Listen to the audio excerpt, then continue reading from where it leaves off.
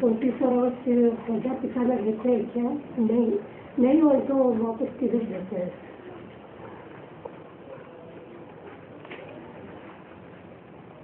मुरली बोला एक है टेम्परेरी गत हम्म? क्या बोला? टेम्परेरी रथ और एक है मुकर रथ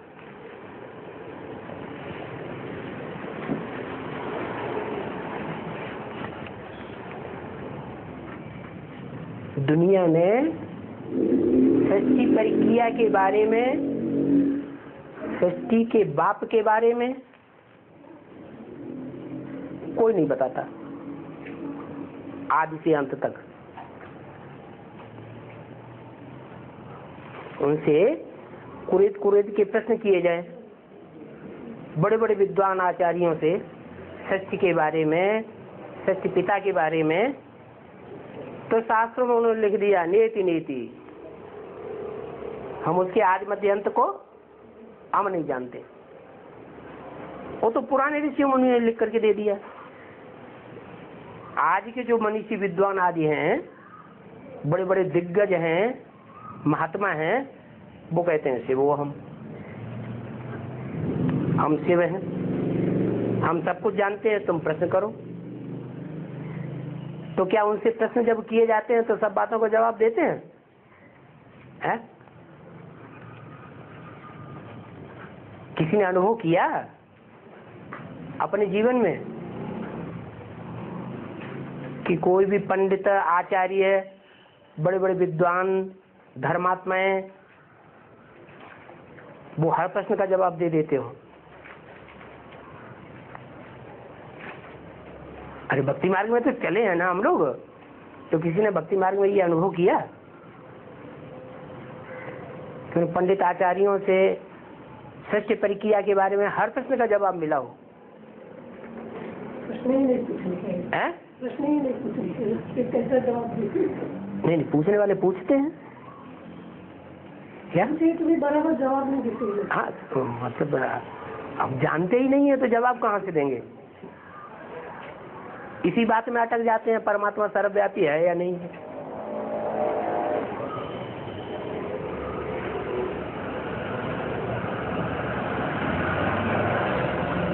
तो मूल बात क्या है?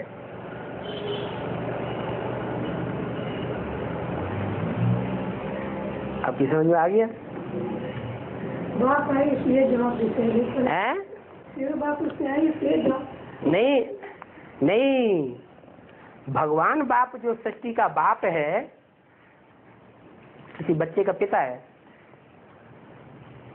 बच्चे के बचपन से लेकर के और जो वो, जवान हो गया तब तक उसकी पालना की है सामने रहा है तो उसकी ज़िंदगी के बारे में उसको पता नहीं होगा। पता होगा ना? तो ऐसे ही सत्य प्रक्रिया की हर बात का जवाब परमपिता परमात्मा के पास ही है। और किसी मनुष्य के पास नहीं है।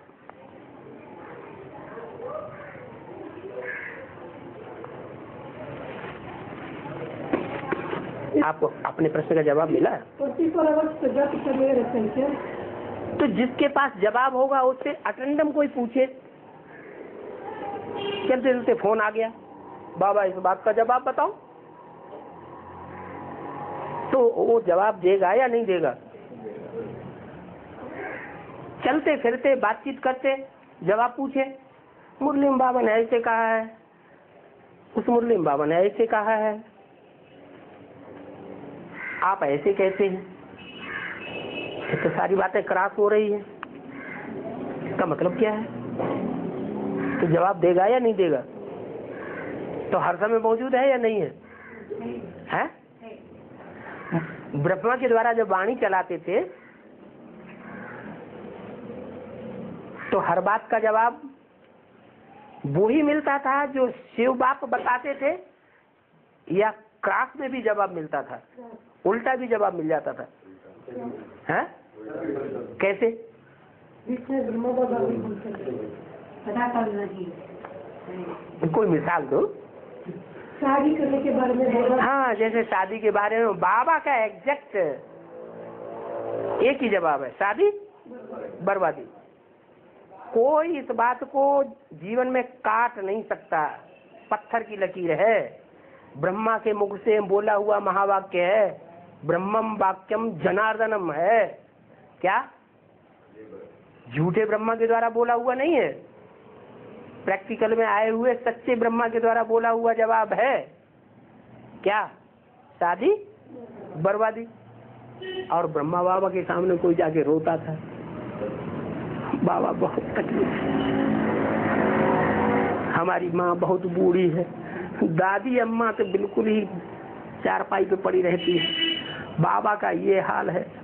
और हम तो नौकरी नौकरी पर जाते हैं। हमें तो टाइम ही नहीं मिलता। वो तो हमारी कमाई इतनी है नहीं। अब क्या करें? तो बाबा का दिल क्या हो जाता था? है? अम्मा है ना?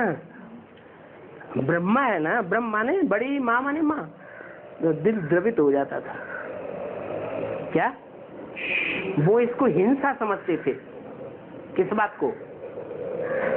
कि बच्चा इतना दुखी है और इतना दुख दूर करने के लिए हम इसको सहज रास्ता न बताएँ तो जैसे कि हमने हिंसा कर दी। लेकिन वास्तव में, जो भगवान ने वाक्य बोल दिया मुख से, ब्रह्मा के मुख से वो ही बात बतानी चाहिए। क्या? कुछ भी हो जाए, जो भोग रहे हैं, वो अपने कर्मों का हिसाब किताब भोग रहे हैं, तुम उनको दुख देने के निमित्त नहीं हो। इसलिए तुम निश्चिंत होकर के रहो, उनके बारे में अच्छा अच्छा सोचो। तो हो सकता है कोई न कोई ऐसा तरीका निकल आए कि आज दुखी है, कल कल सुखी हो जाए। बाकी तुम शादी नहीं करना। अगर ये बात बताते हैं तो तो सुख का रास्ता बताया। भगवान की बात बताई। अगर ये कह दिया अच्छा बच्चे, शादी कर लो। बाबा से चाहते हैं कोई ऐसे युगल निकले, जो पवित्र रह करके दिखाए। फिर मुरली में दूसरी बात बोल दी। क्या? आज शादी करेंगे और कल ही गटर में गिर पड़ेंगे। तो शादी वादी बात खत्म हो गई। तो बाबा कुछ कहते, मकान बनाने के बारे में भी ऐसे ही। बाबा ने मुरली बोला प्रॉपर्टी नहीं बनानी है। क्या? जब एक तरफ़ कह रहे, दुनिया का विनाश होने वाला है। एटम बम फटने वाले हैं, आग लगने वाली है। भूकंप बड़े बड़े आने वाले हैं, ये बड़ी बड़ी महल मारियाँ अटारियाँ, ये सब ताश के पत्तों की तरह गिरने वाली हैं। ज़्यादा टाइम भी नहीं है। जैसे और धर्म पिताओं का सौ साल का टाइम था, वैसे यहाँ भी कितना टाइम सौ साल का टाइम उसमें सत्तर साल तो खत्म हो गए, तीस साल ही तो रह गए। अब प्रॉपर्टी बनाने से फ़ायदा होगा या नुकसान होगा? सारा पैसा मिट्टी में चला जाएगा। तो बाबा ने तो मना कर दिया प्रॉपर्टी नहीं बनानी है। लेकिन जो ब्रह्मा के मुख से बोला हुआ जिन्होंने सुना था सामने बैठ करके, वो प्रॉपर्टी बनाने में लगे हुए हैं या किराए पे चल रहे हैं? है? क्या कर रहे हैं? और सारे के सारे बड़ी बड़ी बिल्डिंग बना लिए अंडरग्राउंड बना लिए कंक्रीट के मकान बना लिए। तो जब पढ़ाई पढ़ाने वालों का ये हाल है, ब्रह्मा कुमार कुमारियों का तो दुनिया वाले दुनिया वाले तो और उनसे भी चार कदम आगे जाएँगे। तो भगवान के वाक्य ज्यो के तो फॉलो करना चाहिए।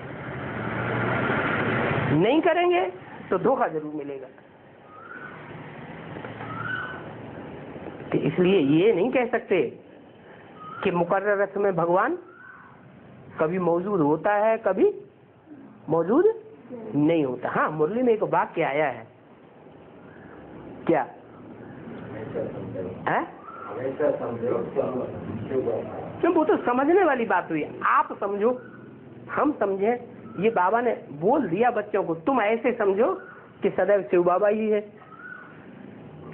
तो समझने वाली बात तो तब की हुई जब कभी है, कभी नहीं है। मैंने ब्रह्मा के अंदर के लिए ये बात बताई कि कभी है और कभी नहीं है, इसलिए तुम ऐसा समझो कि इसमें सदैव शिव बाबा है ही। तो तुम्हारा श्रद्धा, विश्वास, विश्वासम फलदायकम, तुम्हारे लिए फ़ायदा हो जाएगा। लेकिन ब्रह्मा को तो बैल बताया है। क्या? क्या बताया?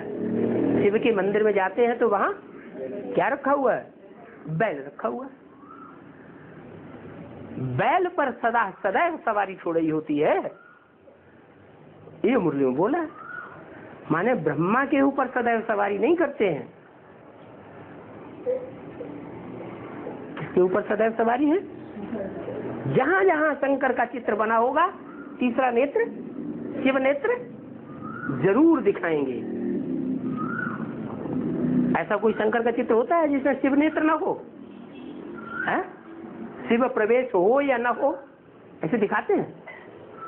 चंद्रमा के लिए दिखाते हैं शास्त्रों में कि कभी उनके मस्तक पर चंद्रमा है और कभी कभी नहीं है। सो so, अभी प्रैक्टिकल जीवन में भी ऐसे ही है ब्राह्मणों की दुनिया में। ब्रह्मा की आत्मा जो ज्ञान चंद्रमा है शीतल ज्ञान प्रकाश देने वाली है वो सदैव मस्तक पर विराजमान रहती है या कभी अज्ञानी बन करके भाग भी जाती है? हैं? अज्ञानी बन के भाग जाती है। अज्ञानियों का साथ देने लग पड़ती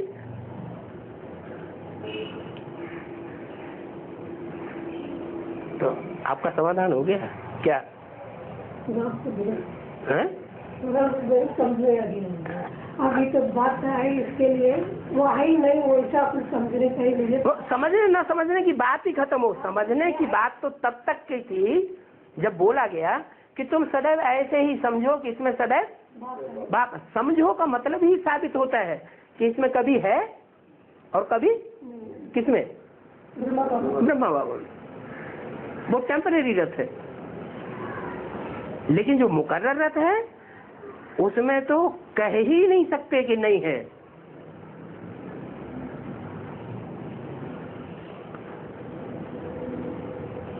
सदा हाजिर। हम बच्चों को भी क्या लक्ष्य दिया हुआ है? हैं? सदैव हाजरा, हजूर समझो। ना, समझो कि नहीं। सदैव हाजरा हजूर है या नहीं है?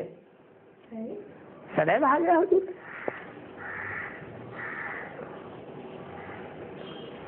हाँ। चले जाता है ये रहता है 2018 वाली जो बात है वो किसके लिए लागू होती है? कोई स्पेशल आत्मा है जिसके लिए लागू होती है? या 500 करोड़ के लिए लागू होती है। हाँ? कौन आत्मा है? प्रजापिता वाली आत्मा के लिए लागू होती है। सिर्फ़ प्रजापिता के लिए।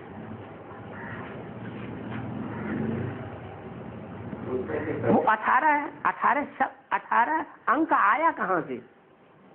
उन्नीस क्यों नहीं आया? बीस क्यों नहीं आया? उ, उ, उ, उसकी उसकी गहराई में खुदाई करो। रिसर्च करो। अठारह कहाँ से आया अंक? अठारह क्यों उठा लिया? अरे हाँ? नहीं नहीं। अठारह अध्याय? अठारह अध्याय मैंने दो हज़ार एक से गीता ज्ञान सुनाना शुरू किया। दो अठारह अध्याय से अगर हम जोड़े तो 2001 से लेकर के 2018 तक गीता ज्ञान चला है। ऐसा समझे?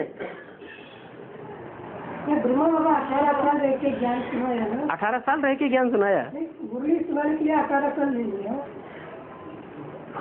अठारह साल? कौन से अठारह साल ले लिए? नहीं। ब्रह्मा क्या था हंड्रेड ईयर कब पूरे हो गए?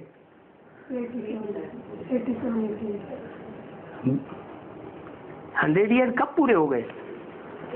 आप तो अभी बोलिए मत, क्योंकि आप तो अभी पैदा ही नहीं हुए। हाँ बच्चा जब पेट में पले, पेट में खाए, पेट में पिए, पेट में सोचे, सारी दुनिया की नज़रों में गुप्त होकर के रहे, हैं? पेट में आत्मा की भट्टी होती है नौ नौ महीने? होती है कि नहीं? ऐसे ही ये अलौकिक ब्राह्मणों की दुनिया है। इसमें भी नौ दिन चाहिए गुप्त रह करके पुरुषार्थ करने के। आत्मा को पकने का टाइम चाहिए। एक दिन आना भट्टी में, एक दिन जाना। जब तैयार होके आत्मा जाती है तो भी ज्ञान की बातों में रमण करती हुई जाती है। तब ही उसे ले जाना चाहिए जब उसके पूरा पक्का निश्चय हो जाए, बाप का पूरा परिचय हो जाए। जिसको बाप की लगन लग जाएगी, बाप का परिचय हो जाएगा, उसे दुनिया में कुछ नहीं दिखाई पड़ेगा। भट्टी के लिए जाएगा भी तो कौन, किसमें बुद्धि लगी रहेगी? ज्ञान की बातों में ही बुद्धि लगी रहेगी। तो एक दिन वो जाने का, सात दिन वहाँ भट्टी के, आखिरी दिन, नौवा दिन वापस आने का। तो जो कुछ भी बुद्धि में भरा हुआ है, वो याद आएगा कुछ दूसरा याद आएगा। है? जब तक धंधे धोरी वाली दुनिया में जाके बिज़ी न हो जाए तब तक वो याद आएगा। तो ये नौ दिन की बच्ची है। इस नौ दिन की बच्ची में जब आत्मा प्रत्यक्षता रूपी जन्म लेकर के बाहर आए तो बाप का बच्चा बने। बाप के घर में जाके जन्म ज़रूर लेना पड़े। कोई ऐसा बच्चा होता है दुनिया में जो बाप के घर में जन्म न ले और बच्चा बन जाए? है? कोई नहीं होता? तो ईश्वरी कार्य क्या है? ढकोसला है? कि बिना जन्म लिए ही बच्चा पैदा हो जाएगा। ये भी ईश्वरीय कार्य में तो और ही सच्चाई है। आ, हाँ जी।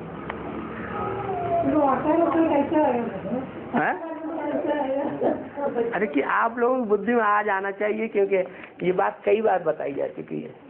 बच्चा हज़ार हो है 2018 जो बताया वो कहाँ से आया? कृष्ण का प्रत्यक्ष हाँ? हाँ जी। हाँ जी। नहीं द्विजन्म नहीं। नहीं नाइनटीन नाइनटीन? नाइन्टी एट में नहीं। वहाँ कहाँ वहाँ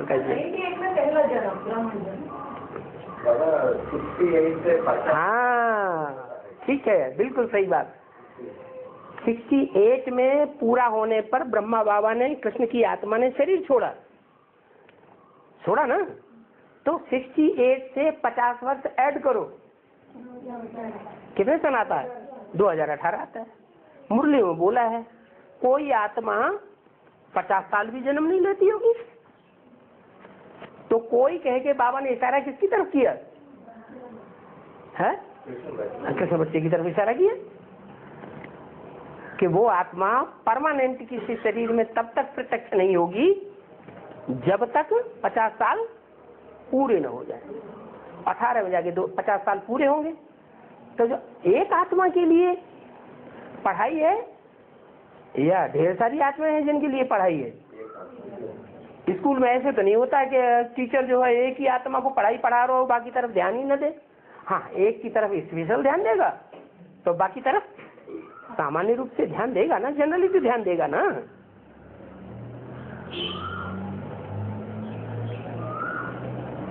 तो क्या अठारह अठारह पूरा हो जाए 2018 पूरा होगा, और शिव बाप का काम खत्म, वापस चला जाएगा? बाप तो पढ़ाई पढ़ना खत्म करेगा हाँ तो पढ़ाई एक की ही है सिर्फ़ क्या? पढ़ाई एक की ही है या औरों की भी है? बाबा हाँ, पढ़ाई तो चलेगी ना। जब तक जीना है तब तक पीना है। एक एक सिर्फ़ एक के लिए है। वो तो जीता ही नहीं है उसका तो शरीर ही नहीं है जीने की बात ही नहीं। तो ये बात किसके लिए है? जो भी साढ़े चार लाख आत्माएँ, साढ़े चार लाख बीज हैं दुनिया के, जो नई सृष्टि तक कायम रहेंगे, शरीर से जिनको फ्रीज हो जाना है इसी दुनिया में। क्या? सांप काट लेता है? शरीर बिखरने लगता है।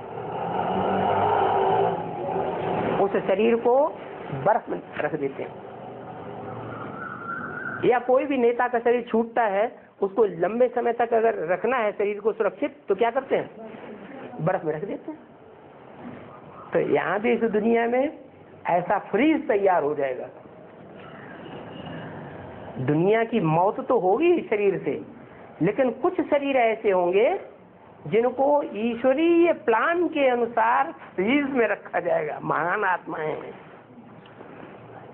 दुनिया के नौ लाख सितारे गाए जाते हैं। वो तो आसमान के सितारे ये धरती के सितारे हैं।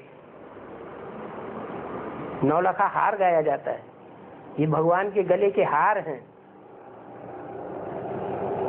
उनमें से साढ़े चार लाख हैं जन्म लेने वाले और साढ़े चार लाख हैं जन्म देने वाले।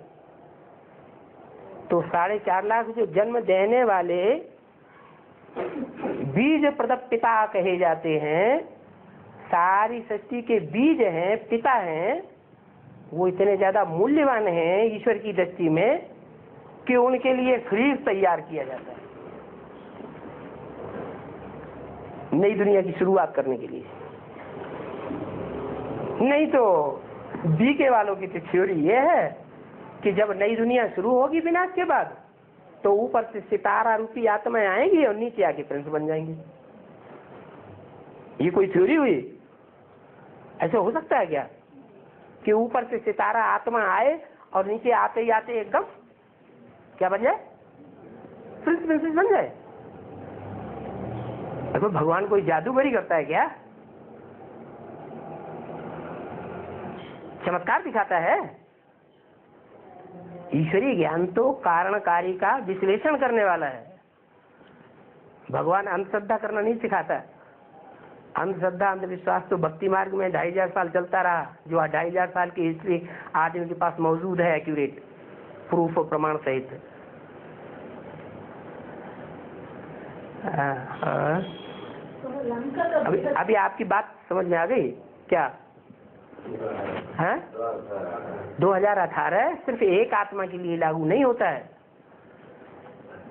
हैं? हाँ। उस एक पेयर के अलावा और भी आत्माएँ हैं जिनकी पढ़ाई पूरी होना बाकी रहेगी। नहीं रहेगी? हाँ और आत्माएँ भी हैं साढ़े चार लाख। जिनकी पढ़ाई चलती रहेगी। और? आपको पता कैसे चलेगा कि शिव बाप चला गया शिव बाप रह गया जबकि बाप आया ही है बाप समान बनाने के लिए? तो किसी एक को आप समान बनाएगा या नहीं बनाएगा? अच्छा हम्म, मान लो किसी एक को आप समान बना दिया। एक आत्मा आप समान निसंकल्पी स्टेज में टिक गई जिसको दुनिया में चाहे कुछ भी होता रहे धरती आउटपाउट होती रहे कितना भी विस्फोट हो जाए भयंकर बिल्डिंग सारी ऊपर नीचे होने लगे ज़मीन फटे बिल्डिंग नीचे जाने लगे वो उसमें बैठा हुआ भी हो तो भी इसको कोई संकल्प? ना आए इतना पक्का निश्चय हो कि मेरा तो उद्धार होना ही होना है, मेरा कुछ भी बिगड़ नहीं सकता। दुनिया में भी ऐसा होता है कि नहीं? भुज में, अभी 2001 में, गुजरात में बड़ा भूकंप आया था। उसमें खुदाई हुई और ढेर सारी लाशें निकलती रही। उसमें एक बच्चा ऐसा भी मिला जो लेंटर से सुरक्षित था। ज़िंदा निकला। ऐसे कई कई अजूबे गरूबे हो गए। श्रद्धा, विश्वास, विश्वासम फलदायकम। अटल निश्चय, अटल विश्वास चाहिए। तो क्या नहीं हो सकता है?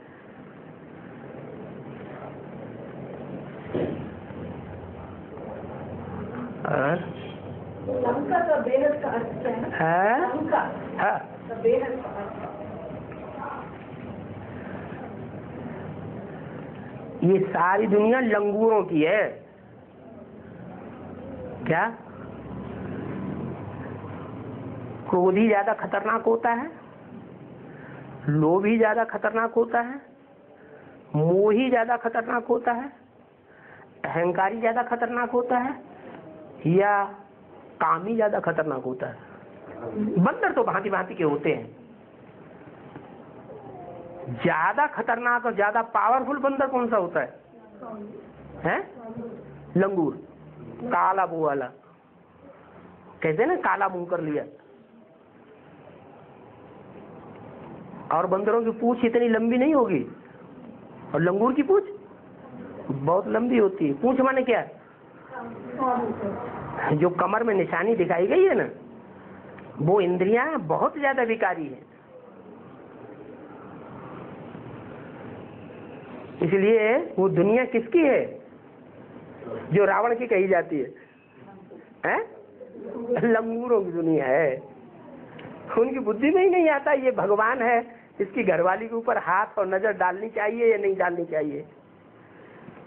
ये सारे विश्व का बादशाह है। ये बुद्धि में आता है लंगूर की? उसकी बुद्धि में नहीं आता।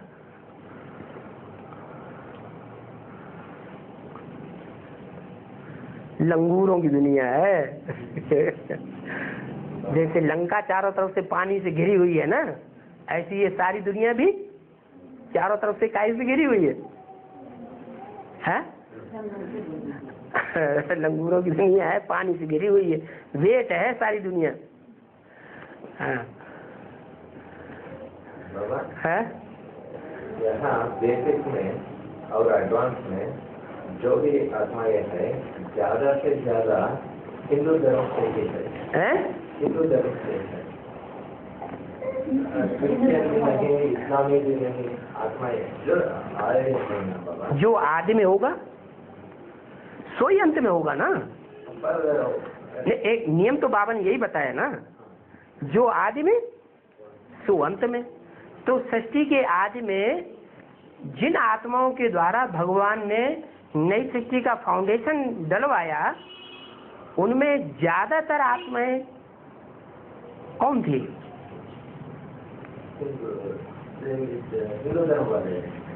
असली हिंदू थे या नकली हिंदू थे? असली हिंदू कौन है, नकली हिंदू कौन है? हाँ? अभी बता, आज की मुरली में ही ये बात क्लियर कर दी गई। हिंद माने हिंसा। दू माने दुयते। हिंसा को जो दूर करे, सो हिंदू। अब हिंसा के भी अर्थ समझने हैं।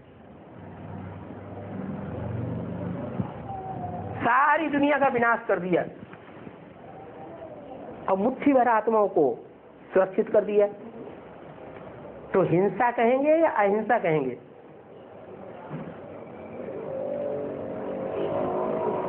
क्या कहेंगे? अरे भगवान हिंसक है या अहिंसक है? अहिंसक है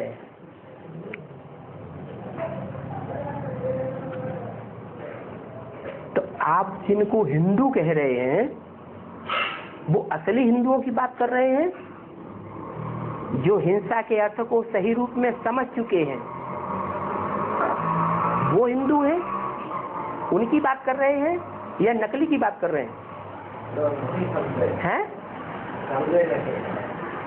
जो नहीं समझे उन हिंदुओं की बात कर रहे हैं।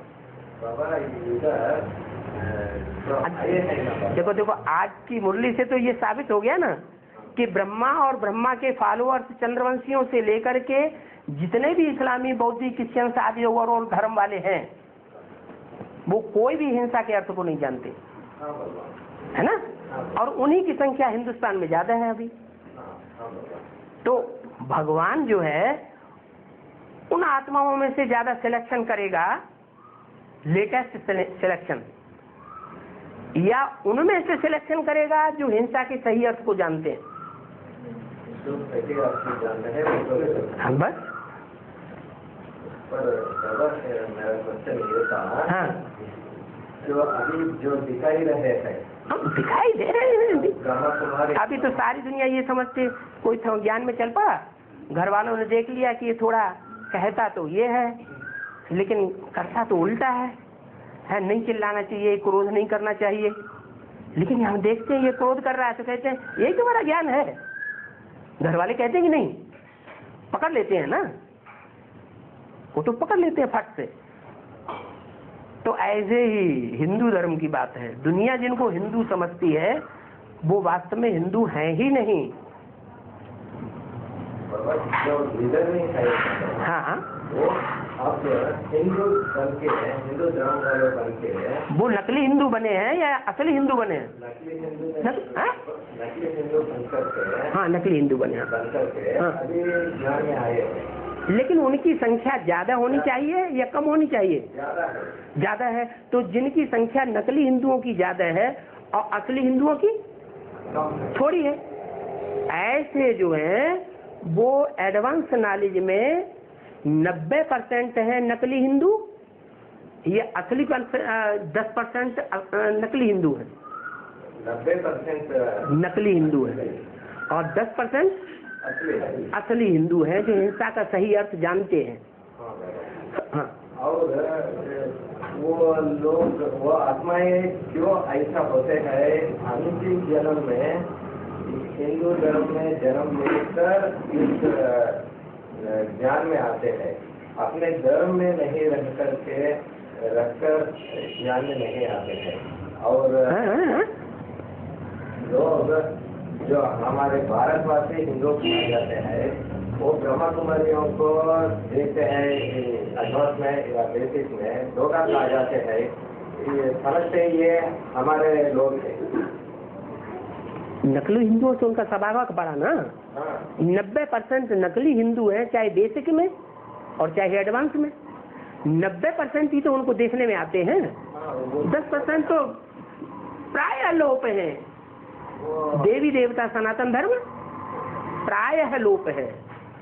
तो ऐसे ही यहाँ भी फाउंडेशन यही पड़ रहा है। प्राय लोप है, देखने में नहीं आते। उनका चयन तो भगवान ही करेगा जो माला तैयार होगी। सारी दुनिया और सारे धर्म के लोग उस माला को सिमरण करेंगे। किसी की दृष्टि में वो माला है ही नहीं। वो माला के मणका रूपी आत्माएँ किसी को दिखाई दिखाई नहीं पड़ रहे हैं। इसलिए वो हिंदू धर्म में जन्म लेकर आते हैं। नकली हिंदू धर्म में जन्म लेकर आते हैं। उनकी संख्या ज़्यादा है। बेसिक में भी और एडवांस में भी। और बाबा ये देवी देवता धर्म की जैन धर्म है। अभी बताए ना बाबा जैनी धर्म अलग धर्म नहीं होता है। देवी देवता धर्म का ही अंश लेकर के वो जैनी बने वो इसलिए कहा कि अपने भारत में शास्त्रों में एक कहावत आती है जहाँ सुमति तहाँ संपत्ति नाना। हाँ संपत्ति उनमें ज़्यादा है नहीं नहीं नहीं, जहाँ सुमति जहाँ अच्छी बुद्धि है ईश्वरीय बुद्धि है वहाँ धन धान्य की कमी होती नहीं। ये एक नियम है। तो अपने भारत के अंदर जितना भी हिंदू संप्रदाय है, चाहे असली हो, चाहे नकली हो, कौन से धर्म के लोग ऐसे हैं जो गरीब दिखाई नहीं पड़ते? जैन धर्म के लोग। तो इससे ही साबित होता है कि वो ही असली है। लेकिन वो जैन है। जैन माने मात्रा बढ़ गई बड़ी एक ही मात्रा हो गई। ब्राह्मण हो सकते हैं, लेकिन ब्रह्मा नहीं हो सकते, ब्रह्मा की कोटि के नहीं है। वो जिन नहीं है, जिन्होंने इंद्रियों को जीता है, वो जिनको फॉलो करने वाले उनके बच्चे हैं फॉलोअर हैं। परंतु जो फॉलोअर हैं, मानते तो हैं कम से कम, भले इतनी ताकत नहीं है जो इंद्रियों को जीत लें तो भी इतने फले फूले हैं। सच्चाई को कम से कम माने तो आदमी। और उनका संख्या भी इस ब्रह्मा कुमारी में बहुत कम है हम लोग जब प्रत्यक्षता होगी तब मानेंगे। या अंधेरे में लाठी मार दें। अभी एक होता है सांप निकला। घर में पूरे में कमरे में अंधेरा है। आदमी सांप को मारना जानता है। जानता तो है लेकिन अंधेरे में लाठी पटक रहा है इधर मारा उधर मारा उधर मारा। अब यहाँ तो सारे के सारे नकली बैठे हुए हैं नब्बे परसेंट। तो फॉलो करने वाले असली जैन धर्म के होने चाहिए। नहीं हो सकते। जब आवाज़ निकलेगी, असली असली छटेंगे तब पता चल जाएगा। तब जैन धर्म वाले निकलेंगे। अभी हम कहें कि हम सच्चा दिलवाड़ा मंदिर हमारा है ये हमारी यादगार है। माउंट आबू में जो दिलवाड़ा मंदिर की मूर्तियाँ रखी हैं वो हमारी यादगार है। तो मान लेंगे? बिल्कुल नहीं मानेंगे। उनको बीज को नहीं अपने बीज को नहीं नहीं वो तो प्रजा वर्ग वाली आत्मा है ना जैन धर्म वाले। जैन माने जिनको फॉलो करने वाले हैं। जिन नहीं है। प्रजा ज्ञान उठाती है ज्ञान को जीवन में धारण करती है या नहीं करती है? जो प्रजा वर्ग वाली आत्माएँ हैं वो ज्ञान को जीवन में धारण करती है या नहीं करती है? करना चाहिए? चाहिए। प्रजा बनने के लिए राजा का धारणा प्रजा का भी धारणा नहीं नहीं। जो राजा बनने वाली आत्माएँ हैं वो ही धारण करेंगी। भगवान राजयोग सिखाता है। प्रजा योग नहीं सिखाता है। राजयोग सीख करके जो राजा बनने की क्वालिटी वाली आत्माएँ निकलती है वो ही धारण करेंगे जीवन में प्रैक्टिकल ज्ञान को। हाँ प्रजा वाली नहीं धारण करेंगे। और एक बार ज्ञान सुन तो लेंगे। अच्छा है अच्छा है। सही है, बातें तो ठीक है। लेकिन इतनी ताकत नहीं है कि प्रैक्टिकल जीवन में उन बातों को धारण कर लें।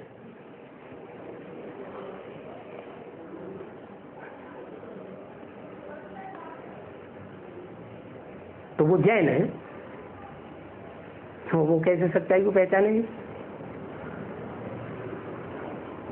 इसलिए जैनी लोग नहीं आते।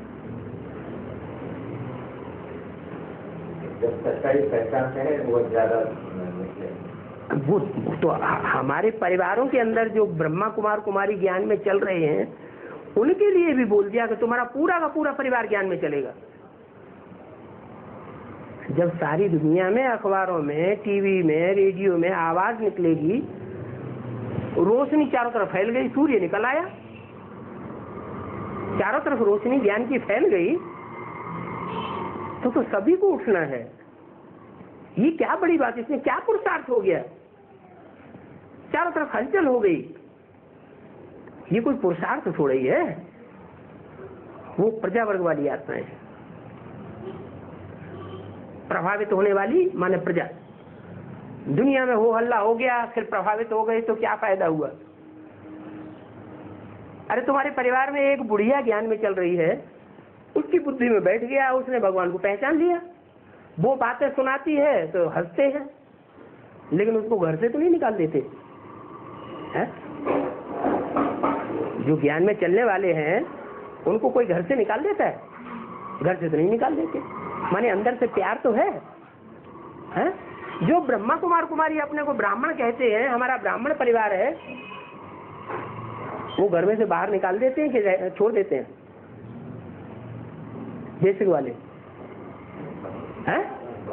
यहाँ जितने भी बैठे हुए हैं, सबका अनुभव है। कहते हैं, आत्मा में आत्मा, तुम हो आत्मा, हम आपस में भाई भाई। लेकिन जहाँ उनकी बुद्धि में बात बैठी कि शंकर पार्टी के हैं। एक, दो, तीन गेट आउट तो लौकिक परिवारों जैसी भी उनके अंदर धारणा नहीं है। हमारे लौकिक परिवार के अंदर ऐसे तो हैं कि जानते हैं ये इस ज्ञान में चल रहे हैं। फिर भी ये नहीं चाहते हैं कि हमारी माँ निकल करके बाहर चली जाए। तो प्रैक्टिकल ज्ञान की धारणा के आधार पर ये बात बोली कि तुम्हारे परिवार के जितने भी हैं, वो सब ज्ञान में चलेंगे। लेकिन लास्ट में आएँगे तो राजा तो नहीं बन सकते। प्रजा वर्ग में आ जाएँगे, स्वर्ग में ज़रूर आ गएँगे उनको निश्चय बैठ जाएगा? और डायरेक्ट सुनेंगे।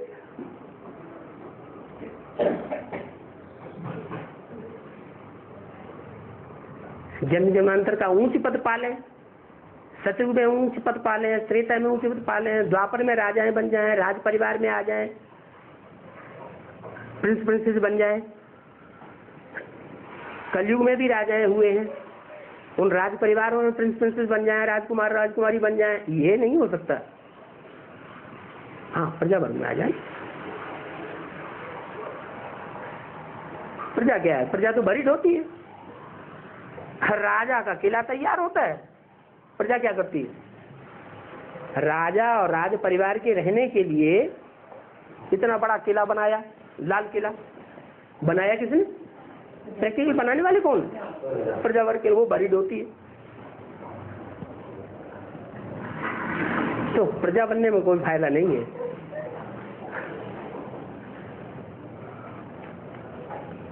हाँ। लड़की को शादी हो? गया हैं शादी होने का बाद पति के घर में चला जाके पहले बाबा लौकिक घर में?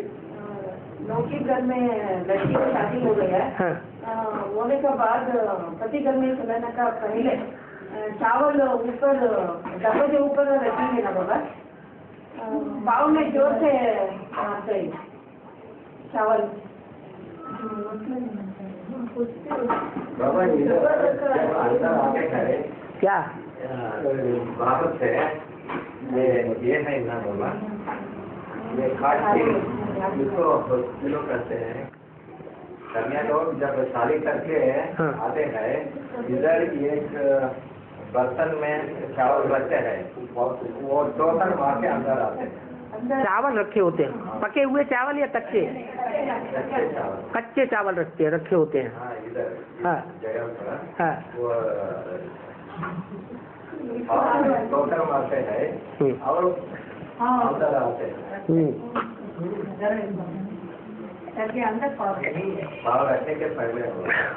सोचना चाहिए शादी होने के बाद ये कन्या की बात है ना? तो जो कन्या आई है वो कन्या कुमारी है या अधर कुमारी है? कन्या कुमारी है ना? वो क्या है? कुमारी है ना? वो कन्या कुमारियाँ जो अपनी भक्ति मार्ग में इस तरह दिखाई गई हैं वो कन्या कुमारी को फॉलो करने वाली है? या अधर कुमारी को फॉलो करने वाली है। वो किसको फॉलो करने वाली है?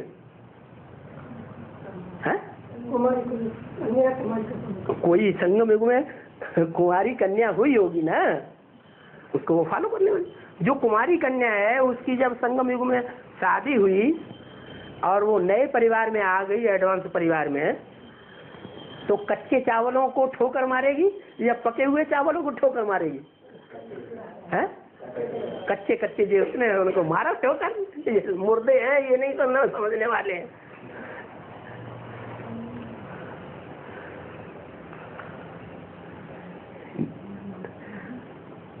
नहीं समझ आया? इनको समझाओ तो प्रश्न तो इनका था। उनको नहीं समझाया। ये फिर दूसरी जगह लफड़ा फैलाएँगे। आगे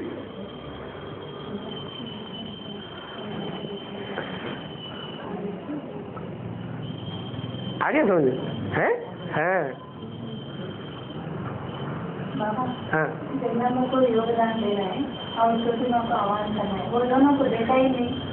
अच्छा ब्रह्मा बाबा को तुमने देखा ही नहीं। तो ब्रह्मा बाबा याद आते हैं नहीं? बेसिक नॉलेज में ब्रह्मा बाबा को तुमने देखा? नहीं देखा? तो ब्रह्मा बाबा याद आता था कि नहीं? किसी तो बात आपकी झूठी हो गई। कि आँखों से जिनको देखा नहीं, वो याद ही नहीं आता। अरे नेहरू जी को हमने देखा ही नहीं अपने जीवन में। लेकिन हमारे जीवन में नेहरू भी हुए, गांधी भी हुए। लेकिन हमने देखा नहीं। तो क्या याद नहीं आते? अरे वो नहीं देखे, उनका फ़ोटो तो देख लिया। उन्होंने जो कर्म किए, जो बातें की वो हम बातें तो सुन रहे हैं, उनके कर्म तो देखे हैं। समझे हैं। कर्मों को याद किया जाता है बातों को याद किया जाता है रूप को याद किया जाता है। तो याद नहीं आएगा? को देखा अरे प्रश्न फिर इन्होंने दोहरा दिया। अरे हम कह रहे हैं आपने ब्रह्मा को देखा? नहीं देखा लेकिन उसका फ़ोटो तो बेसिक फ़ोटो तो देखा है। तो जिसको चाह उसको राह निकालने में कोई देर नहीं। There is the will there is the way आपकी चाह कहीं दूसरी जगह लगी हुई है। वो चाह पूरी करने के लिए आप पूरी ताकत लगा रहे हैं। लेकिन वो, क्या नाम, जो जगत की महारानी है, लक्ष्मी है, उसको देखने के लिए आप पूरी ताकत नहीं लगा रहे हैं। हाँ बाबा, हाँ। छोटी और लक्ष्मी को बांटने वाली देवी कहते हैं। हैं? कहते हैं। हाँ जी हाँ जी हाँ तो कैसे कैसे? कर्म हैं। देखो नियम ये है कि मुख से ज्ञान सुनाया।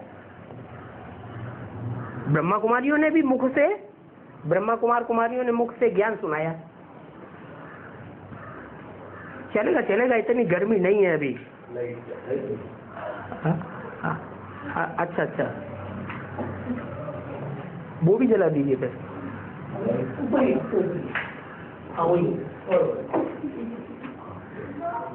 ब्रह्मा कुमारियों ने भी ज्ञान सुनाया। कम सुनाया खूब सुनाया।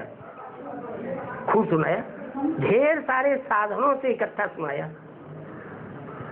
दुनिया का जितना भी दिखावा हो सकता है सारा पम्प एंड शो करके देख लिया सुनाया ना? दुनिया के ऊपर कोई असर पड़ा? क्यों नहीं असर पड़ा? प्रैक्टिकल कथनी और करनी में महान अंतर है। और जो छोटी माँ निकलेगी? है? प्रैक्टिकल कर्म करके दिखाएँगे। प्रैक्टिकल कर्मों में और प्रैक्टिकल बोलने में अंतर नहीं लोगों को दिखाई पड़ेगा। और जगदम्बा में? है? ज़मीन आसमान का अंतर है कन्याकुमारी में और अदर कुमारी के पार्ट में। तो लोगों को कैसे विश्वास बैठेगा? एक रचना बनाई, बनाने वाला एक। एक ने रचना बनाई काले मुँह वाली की। और उसी एक बनाने वाले ने रचना दूसरी बनाई, गोरे मुँह वाले की। एक को महाकाली कहा जाता है, एक को महागौरी कहा जाता है। दुनिया किसको फॉलो करेगी? गोरे कर्म करने वाले को फॉलो करेगी ना।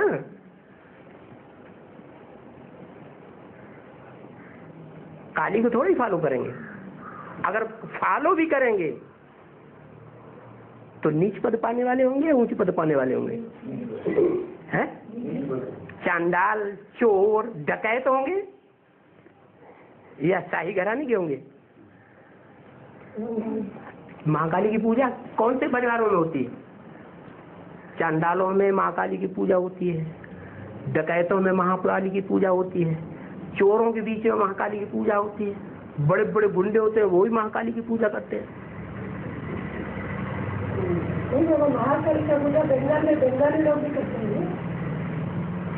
जो बंगाली लोग कर रहे हैं, वो बंगाली लोगों में ज़्यादातर कम्युनिस्ट पार्टी में है। या जनता पार्टी में? कम्युनिस्ट पार्टी में नास्तिक लोग होते हैं या आस्तिक लोग होते हैं? हैं? उनके फॉलोअर्स भी ऐसे ही। उन्हें भगवान के ऊपर श्रद्धा ही नहीं है। मुरली में भी बाबा ने बोला, देवी की पुजारी है रावण संप्रदाय लक्ष्मी की अकेले की तो पूजा होने की बात ही नहीं है। लक्ष्मी है तो गणेश भी ज़रूर रखा जाता है। लक्ष्मी है तो नारायण भी ज़रूर है। महाकाली का पति क्यों नहीं बताते? देवियों की पूजा करने वाले जब देवी की पूजा करते हैं, नारा लगाते हैं, जय माता दी। तो पिताजी को याद करते हैं? क्या विधवा है? हैं? सधवा है कि विधवा है? हैं? देवी तो सदवा ही होती है। लेकिन कर्म ऐसे किए हैं कि जीते जी मार दिया। दुनिया ये समझती है कि मार दिया। उसको तो छोड़ो, उसकी जो भुजाएँ थी सहयोग करने वाली। सहयोग को भुजा कहा जाता है ना? सहयोग करने वाली जो भुजाएँ थी, उन भुजाओं को भी काट काट करके अपनी कमर की लज्जा बचा ली।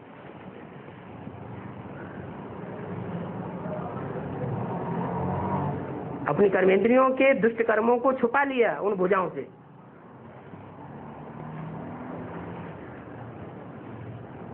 और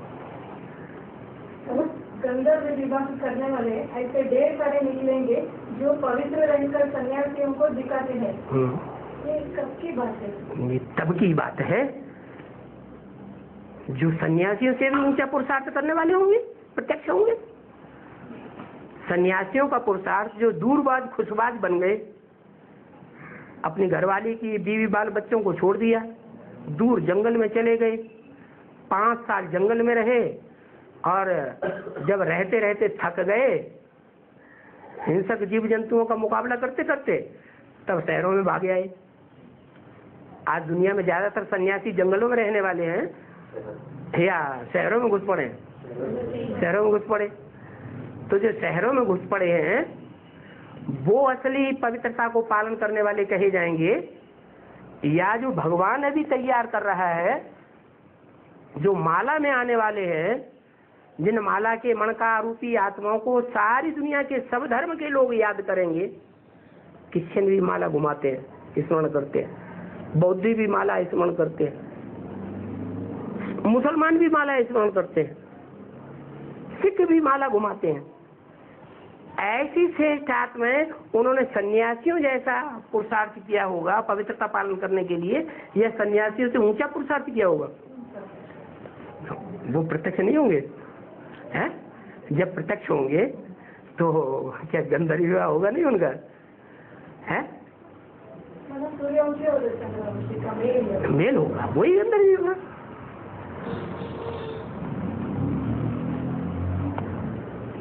हम्म, अभी सब जगह भूकंप से विनाश हो जाएँगे। हम्म? पूरा दुनिया से विनाश हो जाएँगे। ही। ज़्यादातर दुनिया का विनाश भूकंप से होगा। क्योंकि ज़्यादातर दुनिया जो है, वो बड़ी बड़ी ऊँची ऊँची बिल्डिंगों में रह रही है। मल्टी स्टोरीज बिल्डिंग में दुनिया की ज़्यादा से ज़्यादा आबादी रह रही है। वो समझते हैं कि हम जो मकान बना रहे हैं, वो भूकंप रोधी है। क्योंकि अभी तक उन्होंने तो देखा ही नहीं कि छह, सात, आठ पॉइंट से ऊपर का भी भूकंप आ सकता है। किसी के पास हिस्ट्री ऐसी है ही नहीं। लेकिन जब धड़ाधड़ बम फटेंगे, सारी दुनिया में फटेंगे तो पृथ्वी का बैलेंस बिगड़ेगा नहीं। नहीं बिगड़ेगा। बिगड़ेगा। ये कोई 20-20 मेगावाट की हीरो हीरोशिमा नागासाकी की बम्पियाँ थोड़े ही हैं। ये तो महाविनाशकारी चीज़ तैयार हो गई है। और ढेर के ढेर जब फटना शुरू होंगे तो पृथ्वी का बैलेंस बिगड़ जाएगा। बिगड़ जाने से ऐसे ऐसे भूकंप आएँगे कि बड़े बड़े पहाड़ भी पृथ्वी दरका खाएगी और उसमें समझ आएँगे ये तो बिल्डिंगे हैं। नहीं बाबा कभी माउंट आबू तो रह जाएँगे लास्ट में माउंट आबू जाएँगे। माउंट आबू में घर बनाएँगे तो ठीक है। लेकिन अभी घर बना फिर घर बनाने की कल्पना करना। बाबा ने वाणी में क्या कहा? बाबा ने कहा, पहाड़ को पीठ कुर्सी बना देंगे। कि ये डम्बल डंडप के तकिया चाहिए इधर लगाए इधर लगाए। है, डंडप का बिस्तर चाहिए। ब्रह्मा कुमार कुमारियों को आराम से ले लेटेंगे, मस्त रहेंगे। वो चाहिए। बाबा क्या इशारा दे रहे हैं? हैं? अभी सब लोग अच्छा सब लोग पाँच सौ करोड़ को देखना है? है? अभी तो बता दिया नब्बे परसेंट हिंसक हैं ज्ञान में चलने वाले या अहिंसक सनातन धर्मी हैं। आप किसको फॉलो कर रहे हैं? आपकी बुद्धि जो है किसको फॉलो करने की प्रैक्टिस कर रही है? सुनो। कहाँ आप बोल रहे हैं? सब तो ऐसा कर रहे हैं। बाबा ने मकान बनाया वहाँ? बाबा से कंप्यूटर ये चीज़ देखेंगे कि प्रॉपर्टी बाबा ने भी तो बनाई हुई है अपने अपने गाँव में। ये नहीं देखेंगे जब से प्रॉपर्टी वो बनना शुरू हुई, बाबा उसे देखने कितनी बार गए। और उसको भोगा कितना है, और भोगेंगे कितना?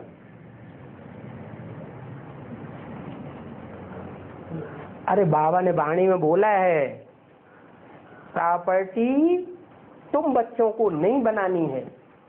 लेकिन माउंट आबू में तो प्रॉपर्टी जो बना रहे हैं, उसका जवाब क्या दिया बाबा ने मुरली में? क्या जवाब दिया? अरे यहाँ तो विनाश होगा, ढेर के ढेर बच्चे आवेंगे। नहीं तो बच्चों की परवरिश कहाँ होगी? तो बाबा की जितनी बुद्धि थी ब्रह्मा बाबा की, उस हिसाब से वो मकान बना रहे वो जानते ही नहीं कि मकान और किला का मतलब क्या होता है। मकान किला का मतलब क्या है? अरे बेहद का मकान, बेहद का किला किसे कहते हैं? हैं? संगठन को कहते तो बेहद के ब्राह्मणों का जो किला है, बेहद के ब्राह्मणों का जो संगठन है, वो माउंट आबू में बनाने की बात है। बाकी जो जहाँ जहाँ मिनी मधुबन बना देंगे वहाँ वहाँ बाप दादा आवेंगे ये बोला हुआ है। तो जब मिनी मधुबन बना देंगे, बाप दादा आवेंगे तो क्या वहाँ कोई सिंगल परिवार रहेगा? कौन रहेगा? हैं? रहेगा कौन? यूज़ कौन करेगा? ढेर के ढेर बच्चे होंगे, तभी तो मिनी मधुबन बनाने की ज़रूरत पड़ेगी। या आज की दुनिया में उन बच्चों को ये कह दिया जाए, जाओ खेत में रहो जाकर के। जो भी सरेंडर, कन्याएँ, माताएँ हैं, उनको खेत में रख दिया जाए। नहीं रखा जाए। हैं? बाबा ने तो मना कर दिया प्रॉपर्टी बनाने के लिए। ये वो ही कह सकता है, जिसने अपनी कन्या सरेंडर न की हो। उसकी बुद्धि में ये बात आएगी कि ये भगवान काय के लिए मेहरबानियाँ अटारियाँ बना रहा है। अगर अपनी कन्या सरेंडर की होगी तो ये बात बुद्धि में नहीं आएगी। क्योंकि दिल्ली में क्या होगा? अरे, कहीं ऐसा ना हो कि हमारी लड़की के साथ कुछ ऐसा बलात्कार बलात्कार हो जाए। उसे सुरक्षा चाहिए। जैसा देश, वैसा भेष बनाना पड़ता है। ऐसे नहीं। जब भगवान आके हिंदी बोलता है तो अंग्रेज़ी क्यों ठूस देता है बीच बीच में। अंग्रेज़ी की शब्द इतने क्यों आते हैं? भगवान विदेशों में क्यों भेज रहा है बच्चों को? वहाँ तो अंग्रेज़ी बोली जाती है, अंग्रेज़ी सभ्यता है। अरे, दुनिया में कौन सी ऐसी भाषा है जो फैली हुई है? कौन सी भाषा फैली हुई है? हिंदी फैली हुई है? नहीं। दुनिया में तो अंग्रेज़ी फैली हुई है। अंग्रेज़ी को तुम बाईकाट कर दोगे तो ये ईश्वर का ज्ञान संसार में फैलेगा। है? संसार में ही अगर ईश्वरीय ज्ञान नहीं फैलेगा तो विदेशी उस ज्ञान को समझेंगे। हैं?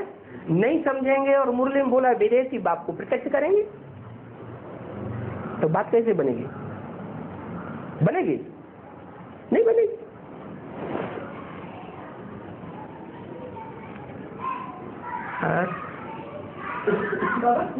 मतलब उनको परिवार लोग बंधन में डालते हैं। तो उनको कितना गुना सजा मिलेगी? एक गुना। आपने उनको पूरा समझा ही नहीं पाया बाप का परिचय नहीं दे पाया। उनको विश्वास बैठ गया कि बाप आया हुआ है। फिर?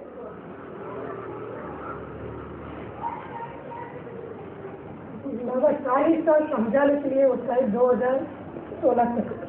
हैं? समझाने के लिए हाँ। दो चालीस साल लेते हैं भी चालीस साल ब्रह्मा बाबा का सेवेंटी सिक्स तक खत्म हो गया। सेवेंटी सिक्स से चालीस साल दो हज़ार सोलह। समझाने के लिए।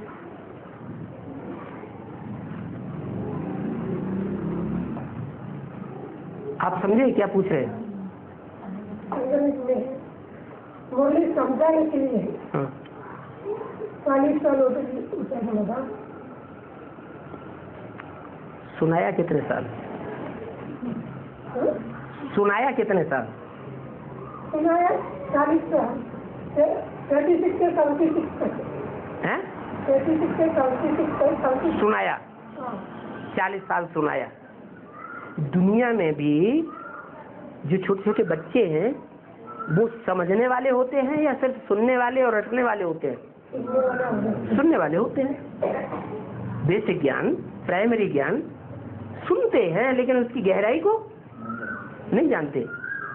तो दुनिया में भी समझने में ज़्यादा टाइम की पढ़ाई है या सुनने की ज़्यादा टाइम की पढ़ाई है? हैं? नहीं समझ आया। क्या प्रश्न पूछा गया? सही नहीं समझ आ रहा है। हिंदी तो जानते हैं। दुनिया में जो पढ़ाई पढ़ाई जाती है, वो सुनने के लिए ज़्यादा लंबा टाइम लेती है या समझने के लिए ज़्यादा लंबा टाइम लेती है? हैं? समझने के लिए लंबा टाइम है। और उसका और छोर ही नहीं है। एम ए कर लो पीएचडी कर लो डी लिट कर लो फिर भी अंत नहीं होता। और ये तो ईश्वरी पढ़ाई है। तो जब तक जीना है तब तक जीना है।